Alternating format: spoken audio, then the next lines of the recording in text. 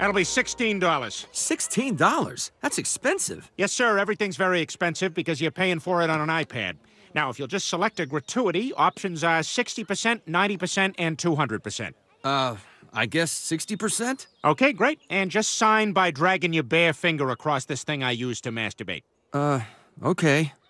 Thank you. Please make sure to bang your head on that low-hanging thing. What are you. Ah! Oh, you spilled something. You want a napkin? Yes, please. All right, here's 40 blown by the wind.